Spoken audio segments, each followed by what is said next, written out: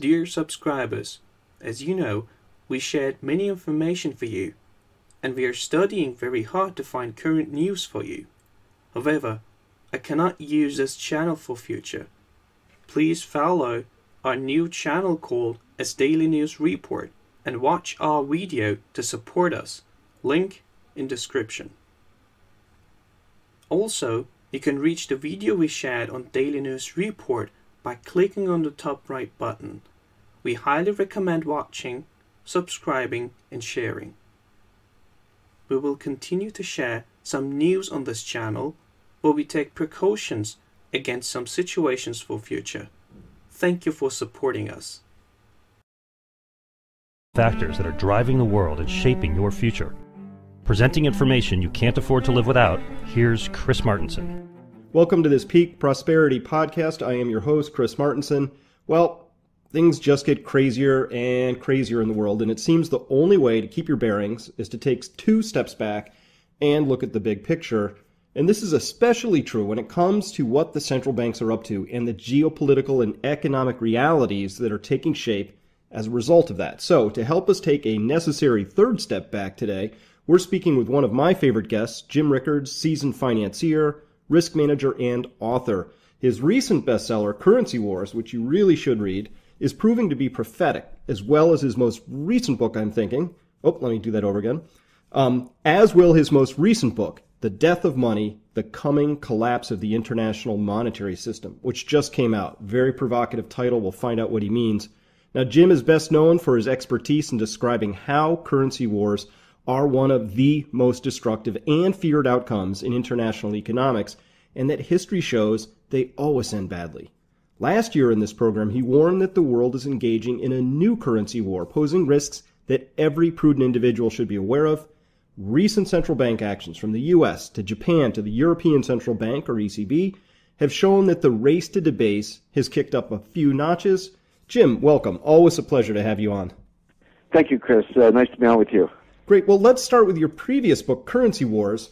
One of the things you predicted back then was the possibility of China, Russia, maybe some other countries would respond to the new currency war by buying gold. Ridiculed at the time. Is anybody laughing now? No, it's a very serious trend, and you know this goes back. Uh, the, the book uh, Currency Wars, Chris, came out in 2011. But in the book, I was writing about a something that happened in 2009. It was the first ever financial war game. So, sponsored by the Pentagon, we had uniformed military, we had uh, the intelligence services, uh, people from the Treasury, people from the Fed, people from think tanks. Uh, I even recruited a few Wall Streeters that said, if you want to manipulate markets, get some people from Wall Street because they do it the best. uh, we sort of we got down there and uh, we we launched a scenario that that I devised with it with a few others where uh, Russia and China would pool their gold reserves and issue a new gold-backed currency. Uh, but more importantly, would say that from then on, uh, Russian natural resource exports and Chinese manufactured goods could only be paid for in this new currency. So they would turn their back on the dollar and they said, if you want the new currency, you can earn it in trade or you can deposit your gold side by side with theirs and their bank would issue some of this new currency, and we had the bank in England and all that because of the rule of law, and that was important. Well, we were actually laughed at by some of the, uh, you know, I have a lot of respect for Harvard, but some of the Harvard heads and think tank people were, oh, don't you know gold is not part of the international monetary system and it never will be again, and this is ridiculous, and what are you doing? Well, since then, uh, Russia has actually increased their gold reserves by 70%. China has increased their gold reserves by several hundred percent. No one knows the exact number because they're not transparent about it, but we have enough data from mining output and Hong Kong imports as well as other information sources to estimate reasonably that China has, you know, let's say three or four thousand tons, but certainly multiples of the 1,000 tons they officially report. So China and Russia have done exactly what we said, which is basically increase their gold reserves, and they're acting more and more in concert. I was, um, even though we did this scenario, I was shocked to learn recently. Um, you know, Secretary Hank Paulson, who was Secretary of the Treasury during the uh, financial meltdown in 2008, he did an interview with the BBC, and he said that during the crisis, uh, so five years ago, when he called the Chinese to reassure them, you know, don't worry about the Congress. In effect, we're going to guarantee everything. And the Chinese said that the Russians had contacted them and talked about dumping their Fannie Mae stock and bonds together. Of course, they both, uh, China and Russia both have Fannie Mae, and U.S. Treasuries and other uh, uh, instruments in the reserve positions and, and dumping them to sort of sink the U.S. once and for all. So the gold accumulation is going on, the coordination is going on, the financial wars are heating up. We see it in Crimea. You know, nobody, uh, you know, Russia has taken over Crimea. Nobody thinks that there should be military intervention by the United States there. You know, left, right, or center. I certainly don't think that. Uh, but the U.S. doesn't want to do, you know, appear appear to do nothing. So we're engaging in, you know, economic sanctions, which is a form of financial warfare. But if we escalate, the Russians will escalate. They've already said that. The third piece of the puzzle, in addition to Russia and China, is Saudi Arabia. Saudi Arabia feels stabbed in the back because the U.S. has greenlighted Iranian nuclear ambitions. Uh, uh, the Obama administration did that last December. I mean, there were talks underway, but they're not producing anything. Iran still has its nuclear reactors, still has its centrifuges and its uranium enrichment program. So uh, the old petrodollar deal, where Saudi Arabia supports the dollar in exchange for us supporting them militarily, uh, they feel stabbed in the back because we've now we know we're closing up and having to detente with Iran. So they have no uh, further reason to uh, require that oil be paid for in dollars, and we may soon see oil paid for in euros or yen or Swiss francs or maybe gold. And so, uh, whether it's Russia, China, Saudi Arabia, you go all over the world, you see all these threats to the dollar. Now, it hasn't come tumbling down yet, but you, you know you don't have to be a a scientist to see this coming. This is like snow building up, and you know the avalanche is coming. You don't know when, but it's very plain to see, very apparent. You know, Jim, what's interesting in that to me is, is obviously, you know, the United States is flexing what muscles it can over the Crimean situation and seems to only be driving Russia that much closer to China. And also with Iran, there have been deals inked on both sides with all those parties and, and, what's coming increasingly clear is, you know, this is being presented in the West as if, oh, look, it's it's red team versus blue team. You know, it's the good guys and the bad guys. It's Russians this and Americans that. But aren't the things that Russia and China are doing really just uh, what a prudent, um, dispassionate investor who sees the United States printing billions and billions, tens of billions every month in QE and, and failing to get its fiscal situation in order aren't these just prudent actions really on some level, or or do you think they're really uh, just have are swamped by the geopolitical us versus them realities? Well, it's really both, but I think you make a very good point, Chris. Uh, you know, and China is a perfect example. China has four trillion dollars in reserves, all that in, in almost all that in paper assets, and the vast majority of that in uh, dollar-denominated assets, mostly U.S. Treasuries there is no bigger fan of the dollar than the Chinese. Now we know that China is acquiring thousands of tons of gold. We we talked about that a little bit, and a lot of people speculate. You know, China is acquiring the gold because they want to launch a new gold-backed currency and knock the dollar off its pedestal and all that. Um, that's not actually the reason they're doing it. They may have to do that in an extreme case, but that's not what they want. China's a big fan of the dollar. If, if I had four trillion dollars of paper, I'd, I'd want a strong dollar too. Yeah. But they would. They look at the United States. They see the United States trying to cheapen its currency, trying to cause inflation. You know, 10% inflation in the U.S. dollar is a $400 billion wealth transfer from China to the United States because uh, their their U.S. dollar paper is worth less, and, and we have to pay them less in real terms. So what they're doing with the gold is they're actually creating a hedge. Um, and let's say, say they have 4,000 tons, that's worth about, you know, about $200 billion, a little more at the market. And so okay, so we have 10% inflation, and it knocks several hundred billion dollars off the value of the reserves. But that kind of inflation would cause gold to, you know, double or triple or maybe even more. So what they would lose on the paper, they would make up on the gold. So, so in effect, they they want a strong dollar, but they know we're trying to cheapen it, so they're buying gold as a hedge, uh, and uh, that's what any investor can do. And know, so I look at the Chinese buying thousands of tons of gold to hedge their paper dollar positions. I say, well, are they stupid or do they see something coming that we don't? Well, they're not stupid. The Chinese are not stupid. So my advice to investors is if it's good enough for the Chinese, it's good enough for us.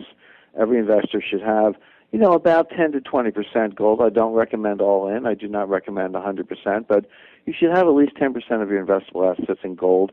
If it's all good and nothing bad happens, you know, you won't get hurt and your other assets will perform well.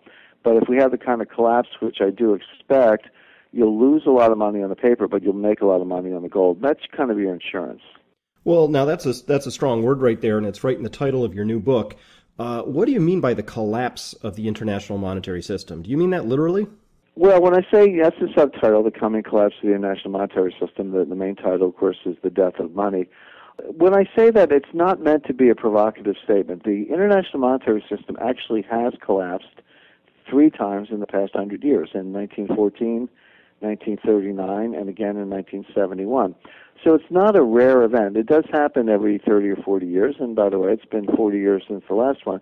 By collapse, what I mean is a, generalized loss of confidence uh, in the paper money or government's ability to, in effect, steal your wealth by creating inflation in paper money. Either way, you know, if you're relying on dollars, let's say, because you have, a, you know, an insurance policy, an annuity, a retirement check, uh, Social Security, anything where you're relying on any kind of fixed amount of dollars, you're extremely vulnerable to inflation. And you know, 10, 20 percent inflation is just like the stock market going down 20 percent. It's you know, you lose that wealth.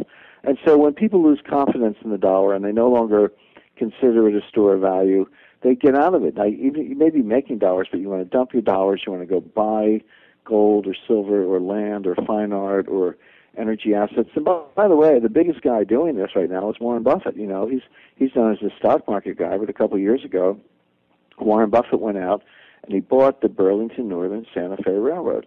Well, what is a railroad? It's all hard assets. It's land, uh, right of way, mining rights adjacent to the right of way, rail, rolling stock, signals, switches, yards, buildings. It's all hard assets. How does a railroad make money? it moves other hard assets, so coal, wheat, corn, steel, etc., in the form of freight. So the rail, buying a railroad is the ultimate hard asset play. It's, it's it's a hard asset that makes money moving hard assets. So when I see Warren Buffett do that, what I see is a guy dumping paper money, getting into hard assets. Now he he wouldn't say that, but I always say uh, you know watch what they do, not what they say. So for everyday investors, uh, maybe we can't afford to buy a whole railroad like Warren Buffett, but we can put some of our assets in gold and accomplish the same thing. And so that's that's that's the insurance element of it. And, and the collapse is a, is a loss of confidence. Uh, and when, when that happens, you're going to want to have these hard assets. And now's the time to prepare for it because it, it may be too late because this could come very quickly. So, by hard assets, railroads being one, uh, some gold you've mentioned. What sort of other plays are are you uh, advising people take a look at right now? Well, actually, my best performing asset the last five years, uh, gold, pardon me, is my second best. My best performing is fine art. Uh, and there, you know, you, you see a guy, uh, some of these multi-billionaires go out and buy a Picasso for 150 million dollars, uh, and you say, well, you know, I can't afford 150 million dollars for a Picasso. Uh, well, very few of us can, but but the point is, there are some funds. Uh, you have to be careful. You got to get pick the right managers, but there's some art funds where you can pool your assets, and the manager will buy the art and manage it and sell it, and you know, produce those kind of returns. But uh, I like to say. Um, fine art behaves the way gold would behave, uh, but for central bank manipulation. In other words, mm. clearly central banks do manipulate uh, gold, and I talk about this and give evidence for this in my new book, The Death of Money. But Janet Yellen doesn't care about the art market. So the art market actually performs like gold without the central bank squashing it uh, every now and then. So it's a good asset. Land is another one. Um, so uh, as I say, there are a number of things you can do in addition to gold. Well, let's talk about about that for a minute because I get this question a lot, which is what is different this time is that there's no border to duck over. Uh, you're mentioning fine art as potentially a, a, virtual border that we could go over. But if you're somebody, if you're like this is a game of elephants at this point in time. So I'm let's let's pick something. I'm the sovereign wealth fund for Norway, right? I've got some un- right. stupid amount of money. I've got nearly a trillion dollars that I'm I'm got to do something with. And suddenly I get concerned about uh, the idea that there's this big currency war and the, the, the, international monetary system might collapse and a new one be born. What, what do you think those players are going to be doing in the face of this information? Well, if you have, uh, I mean, the, the sovereign wealth fund of Norway, they've got several hundred billion dollars, and when you have that much to invest, uh, there's kind of not enough gold in the world at these prices. I mean, if you went out to to buy even 10% gold, you'd, you'd, you'd probably double or triple the price. So that's pretty clear. I mean, they diversify. They buy a lot of uh, fixed income investments. But, you know, if you're Norway, you have to ask yourself, you know, should you leave the oil on the ground if that's feasible?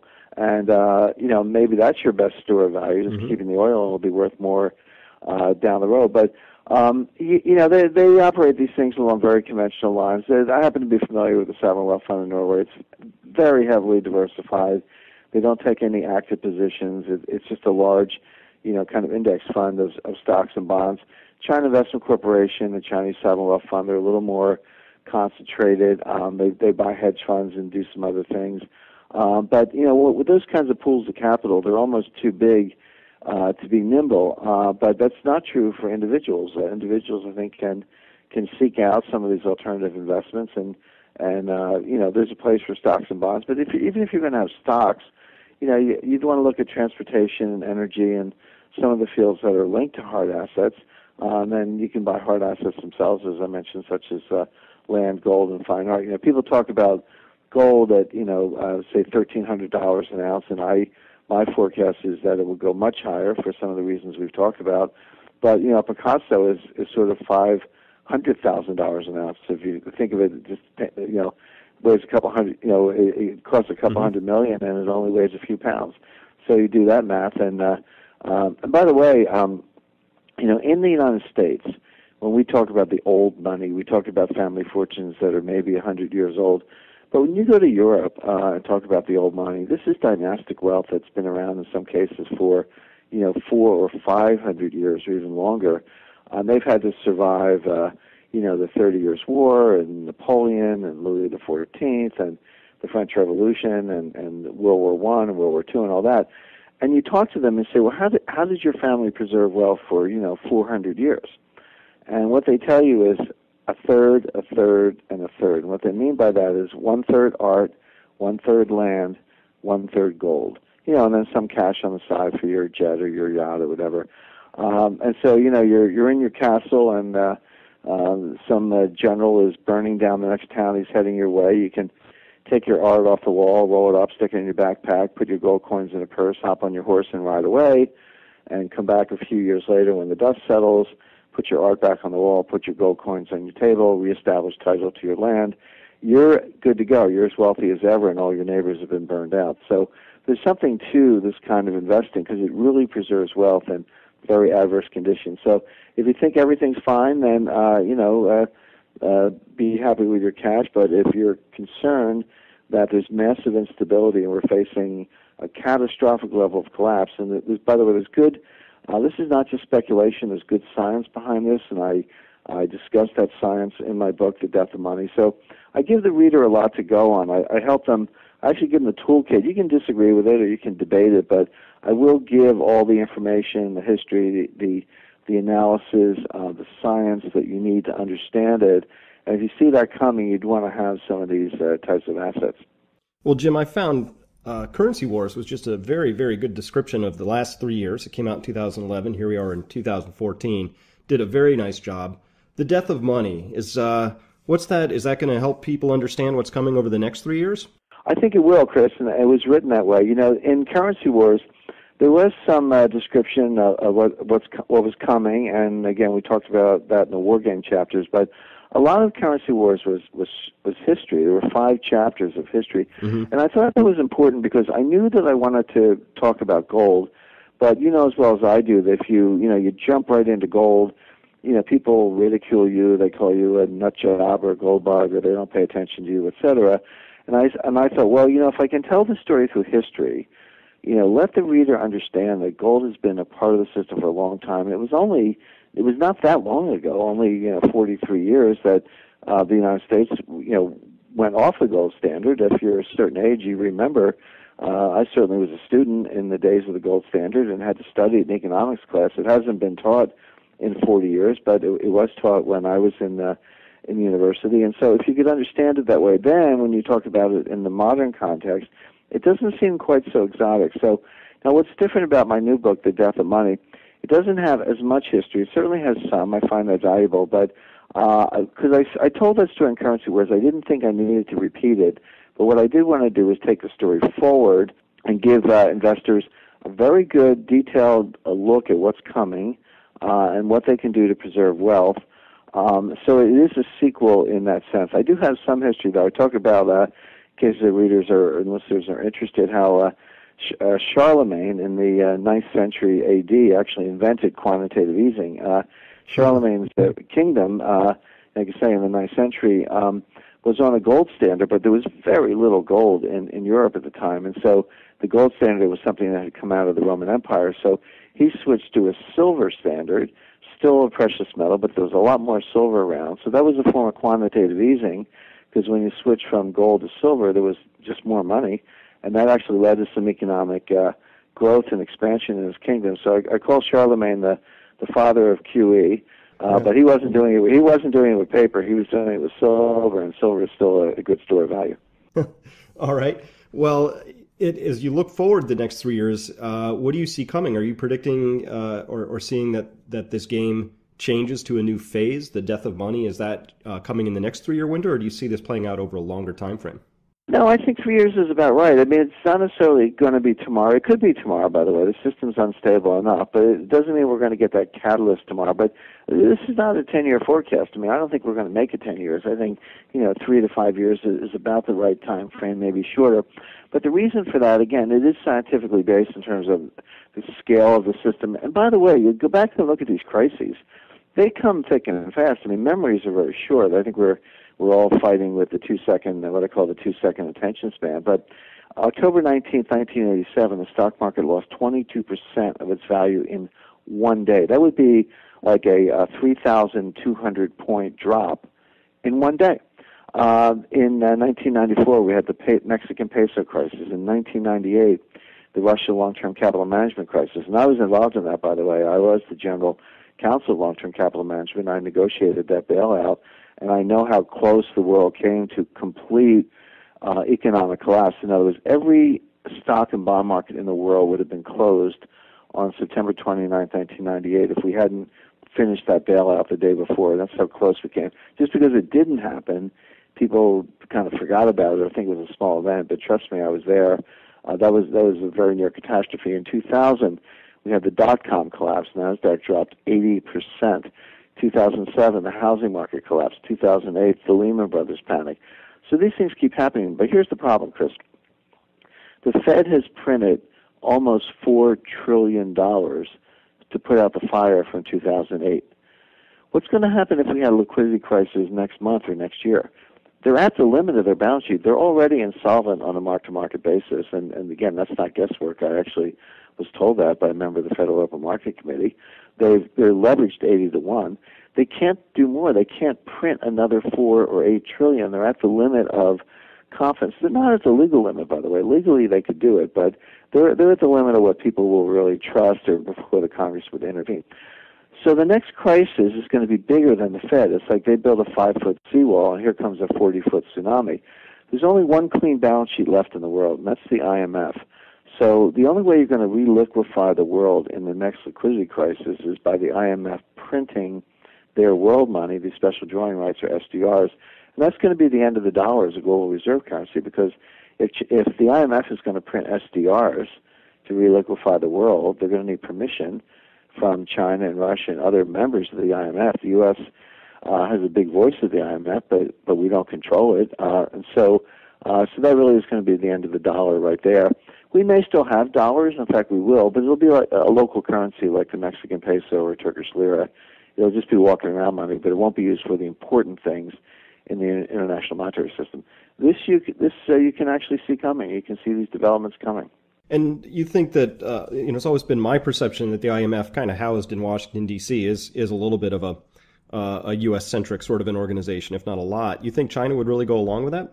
I think China would favor it because the alternative is, uh, you know, perpetuation of dollar hegemony. It would almost be to say, well, the, the no matter what the United States does, no matter how much we print, how what deficits we run, what trade deficits we run, no matter how reckless we are, uh, we can always, you know, print our way out of it. And, and, and there's a limit to that. So China um, would actually like to see SDRs. There's a lot of talk about again China making their currency the yuan, a global reserve currency. That's not even close. I mean, they're, they're very, very far away from that. They don't want that because they'd have to open their capital account. They would lose control. Uh, but they wouldn't mind seeing the SDR as a global reserve currency. They just don't want the dollar. But they're stuck with dollars for the time being. But uh, the next panic when uh, the IMF has to re- use SDRs to reliquefy the world, I mean, China's going to have a big voice in that. You can say it's U.S. centric, but the problem with the U.S. is that the Treasury and the White House want a weak dollar.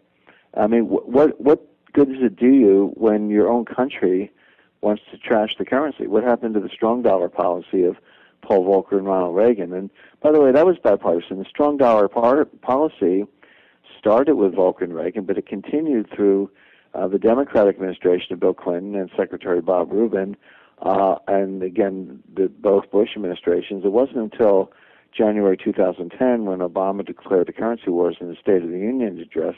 He called it the National Export Initiative. Uh, but but the, uh, the this the strong dollar standard wasn't really abandoned until 2010. So that that did last through um, Republican and Democratic administrations, and it served the world very well. But uh, that's over now, and we're in the in the currency wars, and that's going to lead to a collapse. And ultimately, we're going to see either gold uh, or the SDR as the new um, store value on a worldwide basis. Now, what you're talking about here is is is a day of rec- a moment of reckoning, a period of time, could be years in the making. But the macro analysis that I've got just shows me that you know, we've been compounding our total credit in the OECD countries by roughly 8% per annum for the past 40 years. And you've got headline nominal GDP growth less than that, nominal, real growth less than that, right? So, so this is what you're really talking about here is, is to get back to your, um, your avalanche, your snowflakes on the cornice uh, analogy. Uh, what we're really talking about here is that, that there's been decades of excess that are sort of piled up. They've created imbalances, a lot of potential energy. And uh, you're saying that, that somehow uh, we get back to level, like, like that all of those claims that have been built up, they have to be debased by one process or another. It's, it's inflation or deflation. They either burn uh, through the process of default or they burn through the process of, of uh, debasement. You, which way are you? That, is that about that's right? exactly right. That's exactly right. Uh, the, the debt has to be destroyed, which means there are going to be massive losses. And there, there are two ways to destroy it. One is deflation, which we saw in the 1930s, in which case borrowers, the, the real value of debt goes up. It becomes too much of a burden for borrowers, and borrowers just walk away. It's, they don't pay it. They file for bankruptcy. They, they walk away. They tear it up. Or inflation, in which case the borrowers actually do pay it back, but the money's not worth anything. They're both ways that they're just different ways of destroying wealth. They have different winners and losers, by the way, and that's why investors have to be nimble. Uh, one of the things I like about gold, by the way, is that it performs well in inflation and deflation. Now, the inflation side is pretty intuitive. People get that. You say, oh, yeah, if inflation takes off, the price of gold is going to go up, and that'll preserve wealth, and that's true. But they don't see how it performs well in deflation. But the answer is deflation is a central bank's worst nightmare. Governments actually cannot tolerate deflation because it, first of all, destroys the banks. And don't ever think that the job of a central bank is to help the economy. Mm-hmm. The job of a central bank is to help the banks. Uh, and so when you have the kind of deflation that makes the real value of debt goes up and uh, people default, where do those losses fall? Well, they fall on the banks and the lenders, and so the Fed doesn't want it because they're they're in business to help the banks. It also destroys tax collection. Um, just to give you a very simple example, so let's say someone makes a hundred thousand dollars and they get a ten percent raise, so now they're making one hundred and ten thousand. Um, so that's a real increase in their standard of living, but the government takes about half. The government takes about half of that ten thousand, so you really only get five. But imagine another scenario where you make a hundred thousand, you don't get a raise, prices are, um, uh, but prices go down ten percent. So you're making the same hundred thousand, but but every the cost of everything you buy went down ten percent. So you have the same ten percent increase in your standard of living because everything you buy is cheaper, but the government can't tax that. In other words, the government can tax inflationary nominal gains, but they don't know how to tax deflationary real gains. So for all these reasons, uh, basically the government can't tax it, the banks are the losers, et cetera, and, and it also hurts our debt to GDP ratio because debt's still going up even if G, you know, GDP contracts, uh, which it will in nominal space if you have deflation. So for all those reasons, central banks cannot tolerate deflation. So what does it mean when they're trying to get inflation and it doesn't work? And that's the situation we're in now. The central bank's been trying for five years to get inflation. They cut interest rates to zero, QE1, QE2, QE3, Operation Twist currency wars, forward guidance, nominal GDP targeting. You know, they've tried everything and it's not working. Well, there's one thing that always works. You can devalue your currency against gold because gold can't fight back. You know, in the currency wars, if I devalue against China, China can fight back and devalue against me. but gold can't fight back because you can't print it. And so uh, when when countries get desperate enough in deflation, they'll devalue the dollar against gold, which means gold which means gold goes up, even in deflation. That's exactly what happened in 1933 and 34. In the middle of the Great Depression, the longest sustained period of deflation in American history, gold went up 75% from $20 an ounce to $35 an ounce. So that's an example of how gold does well in inflation and deflation. So it's a good hedge for these uncertain times. Do you have any fears that um, you know as gold becomes um, let's say more obviously essential to the Western economies that that they will uh, do what uh, Roosevelt did in 33 and say that's ours? We need that to satisfy our banker friends? Well, look, you can't rule it out, but uh, I think it's unlikely. And the reason I think that is because, you know, in 1933 it was a different world. People actually mm-hmm. trusted mm-hmm. the government. They were desperate. They believed what the president said. They felt like we were all in it together, and if that was a sacrifice, so people kind of went along with it. Uh, I don't think any of that's true today. I, I think that people don't trust um, the president, and, and there's probably good reason for that. Not just this president, but a lot of recent presidents. So I would I would make that more general. Uh, they don't believe what the government's telling them. Uh, I, we're not all in it together. We're, we're picking winners and losers. The government is helping the banks and hurting everyday citizens. So for all those reasons, I think there would be a lot more resistance. Um, the government probably knows that and probably won't go there. Uh, but you know, you might see other things. You know, kind of what I call a neo-fascist response. We see militarized police and drones and NSA spying and the IRS being used for selective enforcement against political enemies. So there's a whole sort of neo-fascist toolkit that you have to be aware of. But again, probably all the more reason to have gold. Right. So to get back to the to the central point then of of um, you know, obviously there will be winners and losers. Deflationary versus an inflationary outcome. When people ask me you know what, what are we experiencing? You know which is it? And i say it's the answer is obviously yes. You know we're experiencing both right? There's right. elements of deflation right now. There's elements of inflation. If you know where to look it's pretty obvious. Uh, so uh, in that battle which do you see ultimately prevailing well, uh, very good question. I, I mean, the, the, the truthful answer is it could be either one. I, I think in the end of the day, probably inflation prevails, but we may have a scenario where we actually have all figures. In addition to inflation and deflation, I also talk about collapse. But to, to combine all those things, you could have extreme deflation, in which the government becomes so desperate they cause inflation by devaluing the dollar against gold. Then along comes the inflation and then maybe some social instability because uh, you know they're just a mix of of winners and losers, and income inequality gets worse, etc. Or you could have inflation first. Inflation really destroys capital formation. That'll hurt growth, and that could lead to a collapse, which would be deflationary. Or you, you could just you know by uh, uh, by printing so much money and papering this over, maybe it goes on longer than people expect, but the inequality becomes so great that through denial, delay, wishful thinking, etc., uh, the system just collapses on its own, uh, and then you get into social chaos and unrest and get the kind of neo-fascist response I'm talking about. So I've laid these out as alternatives, but you could actually have all three, just in, in different sequences. All right, I totally understand how that could be, and uh, obviously picking what's going to happen is, is a tricky business. But boy, you do a great job of just bringing the facts in and, and using as much science and, and data as, as can be done. So, in the death of money, any other major predictions in there you'd like us to know about? Well, no, I do talk about uh, pretty much everything we discussed, and uh, the main thing I say is that uh, we don't automatically have to have a gold standard. Mm-hmm. Uh, that may or may not happen. Uh, there may be, you know, other solutions, although I, I do think it's somewhat likely. But if we have a gold standard, um, it's very important to understand why the price has to be where I, I expect it to be, which you know could be nine thousand dollars an ounce or higher. You know, people hear that and they think it's just some big number I pulled out of the hat to get a headline or whatever. It's not true. That is actually the the, the implied non-deflationary price. In other words, if you go back to a gold standard, people say there's not enough gold to have a gold standard. Well, that's nonsense. There's always enough gold. You just have to get the price right. Now, thirteen hundred dollars with the quantity of gold, that that is not enough to support world trade and world finance. That would be highly deflationary. But at nine thousand dollars, then then the amount of gold times nine thousand dollars would produce enough money to support world trade and world finance. And so, if you're going to have a gold standard, you've got to get the price right. By the way, Paul Volcker said this, and I quote him in my book at the beginning of chapter nine. Uh, so you know the listeners can can if they get the book they can see that.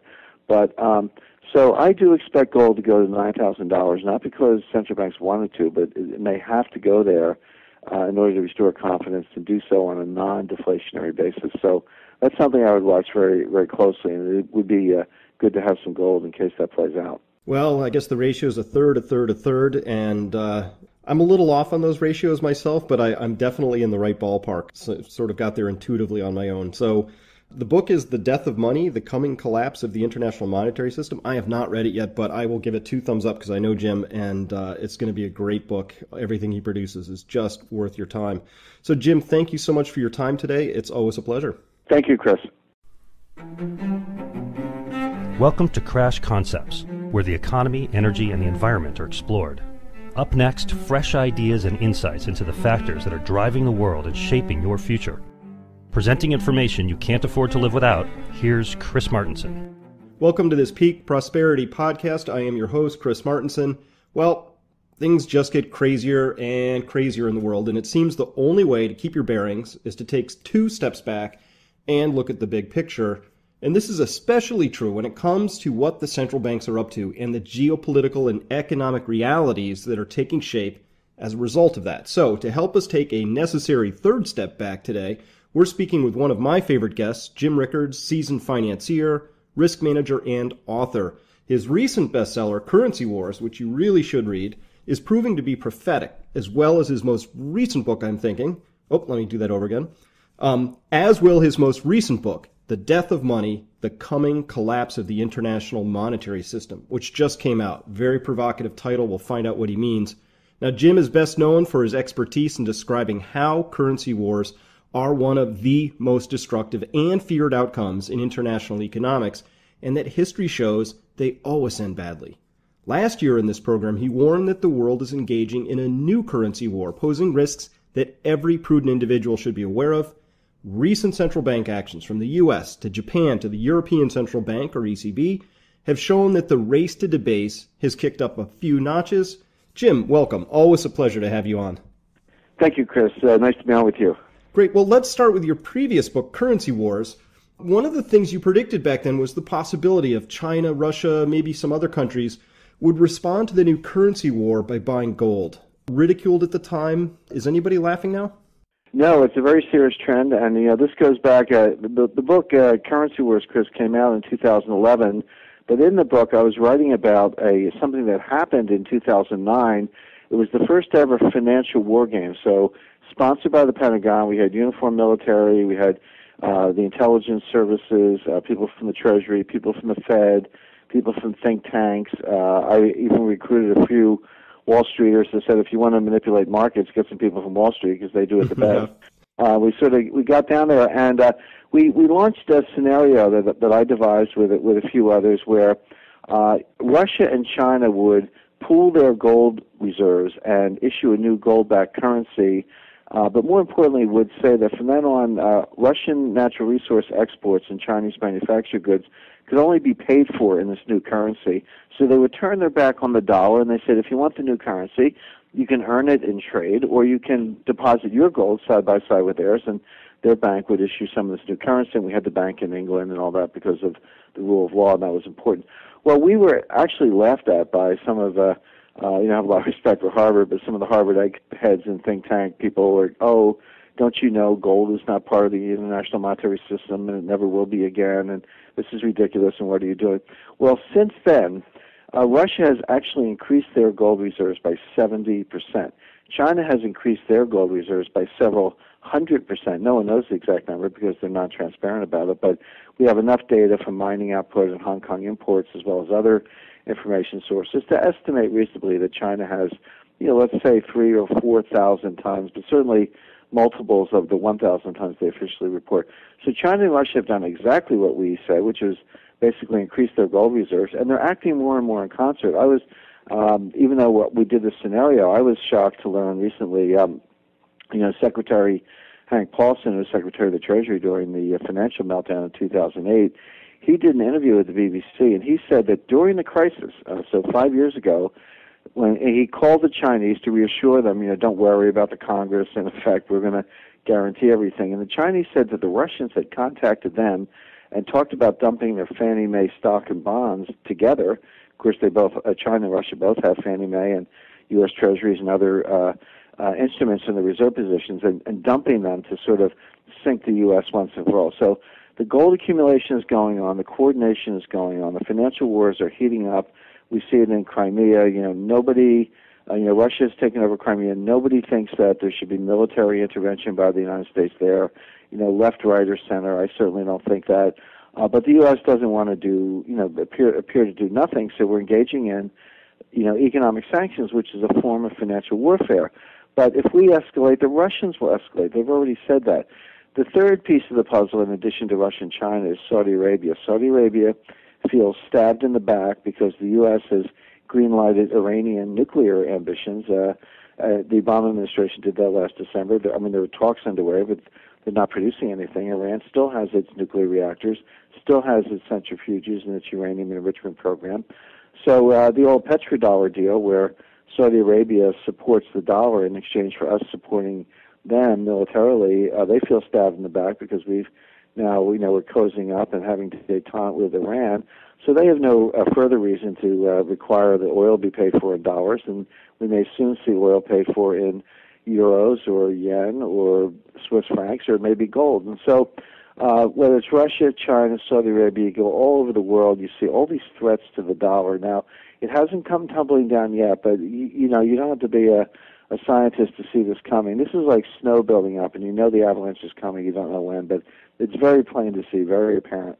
You know, Jim, what's interesting in that to me is is obviously you know the United States is flexing what muscles it can over the Crimean situation and seems to only be driving Russia that much closer to China and also with Iran. There have been deals inked on both sides with all those parties and, and, what's coming increasingly clear is, you know, this is being presented in the West as if, oh, look, it's it's red team versus blue team. You know, it's the good guys and the bad guys. It's Russians this and Americans that. But aren't the things that Russia and China are doing really just uh, what a prudent, um, dispassionate investor who sees the United States printing billions and billions, tens of billions every month in QE and, and failing to get its fiscal situation in order aren't these just prudent actions really on some level or or do you think they're really just have are swamped by the geopolitical us versus them realities well, it's really both, but I think you make a very good point, Chris. Uh, you know, and China is a perfect example. China has four trillion dollars in reserves, all that in, in almost all that in paper assets, and the vast majority of that in uh, dollar-denominated assets, mostly U.S. Treasuries there is no bigger fan of the dollar than the Chinese. Now we know that China is acquiring thousands of tons of gold. We we talked about that a little bit, and a lot of people speculate. You know, China is acquiring the gold because they want to launch a new gold-backed currency and knock the dollar off its pedestal and all that. Um, that's not actually the reason they're doing it. They may have to do that in an extreme case, but that's not what they want. China's a big fan of the dollar. If I had four trillion dollars of paper, I'd, I'd want a strong dollar too. Yeah. But they would. They look at the United States. They see the United States trying to cheapen its currency, trying to cause inflation. You know, 10% inflation in the U.S. dollar is a $400 billion wealth transfer from China to the United States because uh, their their U.S. dollar paper is worth less, and, and we have to pay them less in real terms. So what they're doing with the gold is they're actually creating a hedge. Um, and let's say, say they have 4,000 tons, that's worth about, you know, about $200 billion, a little more at the market. And so okay, so we have 10% inflation, and it knocks several hundred billion dollars off the value of the reserves. But that kind of inflation would cause gold to, you know, double or triple or maybe even more. So what they would lose on the paper, they would make up on the gold. So, so in effect, they they want a strong dollar, but they know we're trying to cheapen it, so they're buying gold as a hedge, uh, and uh, that's what any investor can do. And you know, so I look at the Chinese buying thousands of tons of gold to hedge their paper dollar positions, I say, well, are they stupid or do they see something coming that we don't? Well, they're not stupid. The Chinese are not stupid. So my advice to investors is if it's good enough for the Chinese, it's good enough for us. Every investor should have, you know, about 10 to 20% gold. I don't recommend all in. I do not recommend 100%, but you should have at least 10% of your investable assets in gold. If it's all good and nothing bad happens, you know, you won't get hurt and your other assets will perform well. But if we have the kind of collapse which I do expect, you'll lose a lot of money on the paper, but you'll make a lot of money on the gold. That's kind of your insurance. Well, now that's a that's a strong word right there, and it's right in the title of your new book. Uh, what do you mean by the collapse of the international monetary system? Do you mean that literally? Well, when I say that's the subtitle, the coming collapse of the international monetary system, the, the main title, of course, is the death of money. When I say that, it's not meant to be a provocative statement. The international monetary system actually has collapsed three times in the past hundred years in 1914, 1939, and again in 1971. So it's not a rare event. It does happen every 30 or 40 years, and by the way, it's been 40 years since the last one. By collapse, what I mean is a, generalized loss of confidence uh, in the paper money or government's ability to, in effect, steal your wealth by creating inflation in paper money. Either way, you know, if you're relying on dollars, let's say, because you have, a, you know, an insurance policy, an annuity, a retirement check, uh, Social Security, anything where you're relying on any kind of fixed amount of dollars you're extremely vulnerable to inflation. And you know, 10, 20 percent inflation is just like the stock market going down 20 percent. It's you know, you lose that wealth. And so when people lose confidence in the dollar and they no longer consider it a store of value, they get out of it. Now, even you may be making dollars, but you want to dump your dollars. You want to go buy gold or silver or land or fine art or energy assets. And by, by the way, the biggest guy doing this right now is Warren Buffett. You know, he's he's known as a stock market guy, but a couple of years ago, Warren Buffett went out and he bought the Burlington Northern Santa Fe Railroad. Well, what is a railroad? It's all hard assets. It's land, uh, right of way, mining rights adjacent to the right of way, rail, rolling stock, signals, switches, yards, buildings. It's all hard assets. How does a railroad make money? It moves other hard assets, so coal, wheat, corn, steel, etc., in the form of freight. So the rail, buying a railroad is the ultimate hard asset play. It's, it's it's a hard asset that makes money moving hard assets. So when I see Warren Buffett do that, what I see is a guy dumping paper money, getting into hard assets. Now he he wouldn't say that, but I always say uh, you know watch what they do, not what they say. So for everyday investors, uh, maybe we can't afford to buy a whole railroad like Warren Buffett, but we can put some of our assets in gold and accomplish the same thing. And so that's that's that's the insurance element of it, and, and the collapse is a, is a loss of confidence. Uh, and when, when that happens, you're going to want to have these hard assets, and now's the time to prepare for it because it, it may be too late because this could come very quickly. So, by hard assets, railroads being one, uh, some gold you've mentioned. What sort of other plays are are you uh, advising people take a look at right now? Well, actually, my best performing asset the last five years, uh, gold, pardon me, is my second best. My best performing is fine art. Uh, and there, you know, you, you see a guy, uh, some of these multi-billionaires go out and buy a Picasso for 150 million dollars, uh, and you say, well, you know, I can't afford 150 million dollars for a Picasso. Uh, well, very few of us can, but but the point is, there are some funds. Uh, you have to be careful. You got to get pick the right managers, but there's some art funds where you can pool your assets, and the manager will buy the art and manage it and sell it, and you know, produce those kind of returns. But uh, I like to say. Um, fine art behaves the way gold would behave, uh, but for central bank manipulation. In other words, mm. clearly central banks do manipulate uh, gold, and I talk about this and give evidence for this in my new book, The Death of Money. But Janet Yellen doesn't care about the art market. So the art market actually performs like gold without the central bank squashing it uh, every now and then. So it's a good asset. Land is another one. Um, so uh, as I say, there are a number of things you can do in addition to gold. Well, let's talk about about that for a minute because I get this question a lot, which is what is different this time is that there's no border to duck over. Uh, you're mentioning fine art as potentially a, a, virtual border that we could go over. But if you're somebody, if you're like this is a game of elephants at this point in time. So I'm let's let's pick something. I'm the sovereign wealth fund for Norway, right? I've got some un- right. stupid amount of money. I've got nearly a trillion dollars that I'm I'm got to do something with. And suddenly I get concerned about uh, the idea that there's this big currency war and the, the, the, international monetary system might collapse and a new one be born. What, what do you think those players are going to be doing in the face of this information? Well, if you have, uh, I mean, the, the sovereign wealth fund of Norway, they've got several hundred billion dollars, and when you have that much to invest, uh, there's kind of not enough gold in the world at these prices. I mean, if you went out to to buy even 10% gold, you'd, you'd, you'd probably double or triple the price. So that's pretty clear. I mean, they diversify. They buy a lot of uh, fixed income investments. But, you know, if you're Norway, you have to ask yourself, you know, should you leave the oil on the ground if that's feasible? And, uh, you know, maybe that's your best store of value, just mm-hmm. keeping the oil, it'll be worth more uh, down the road. But, um, you, you know, they, they operate these things along very conventional lines. I happen to be familiar with the sovereign wealth fund in Norway. It's very heavily diversified They don't take any active positions. It, it's just a large, you know, kind of index fund of, of stocks and bonds. China Investment Corporation, the Chinese Sovereign Wealth Fund, they're a little more concentrated. Um, they they buy hedge funds and do some other things. Um, but you know, with those kinds of pools of capital, they're almost too big uh, to be nimble. Uh, but that's not true for individuals. Uh, individuals, I think, can can seek out some of these alternative investments, and and uh, you know, there's a place for stocks and bonds. But if even if you're going to have stocks, you know, you, you'd want to look at transportation and energy and some of the fields that are linked to hard assets.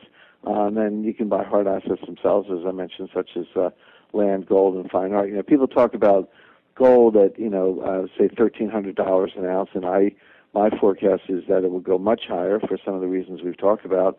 But you know, Picasso is is sort of five hundred thousand dollars an ounce. If you think of it, just you know, weighs a couple hundred, you know, it, it costs a couple mm-hmm. hundred million, and it only weighs a few pounds. So you do that math, and uh, um, and by the way, um, you know, in the United States, when we talk about the old money, we talk about family fortunes that are maybe a hundred years old.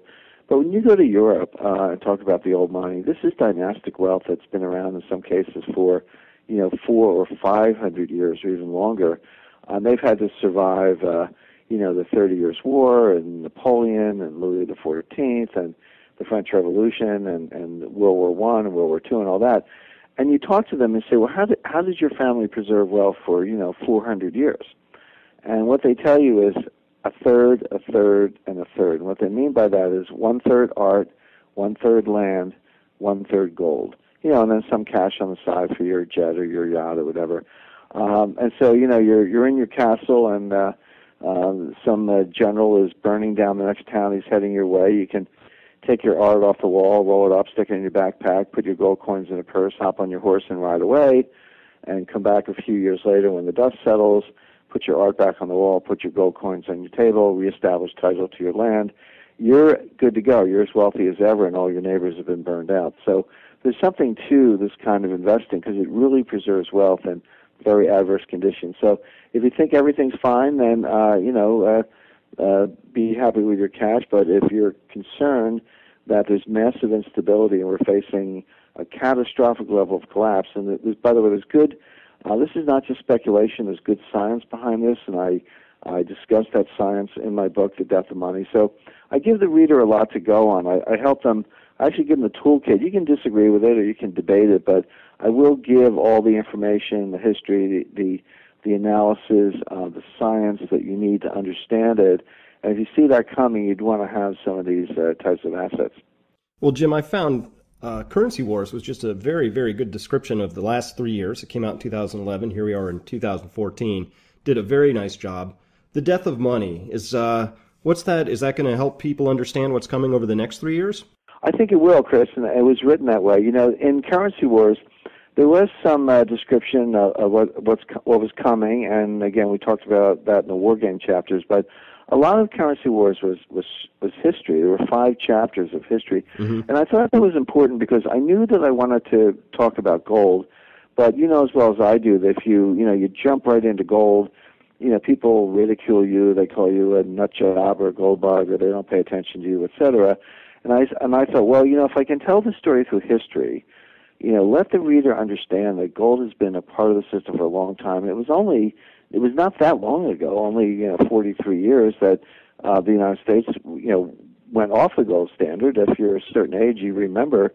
Uh, I certainly was a student in the days of the gold standard and had to study it in economics class. It hasn't been taught in 40 years, but it, it was taught when I was in the in university. And so, if you could understand it that way, then when you talk about it in the modern context, it doesn't seem quite so exotic. So, now what's different about my new book, The Death of Money? It doesn't have as much history. It certainly has some. I find that valuable, but because uh, I, I told that story in Currency Wars, I didn't think I needed to repeat it. But what I did want to do is take the story forward and give uh, investors a very good, detailed uh, look at what's coming uh, and what they can do to preserve wealth.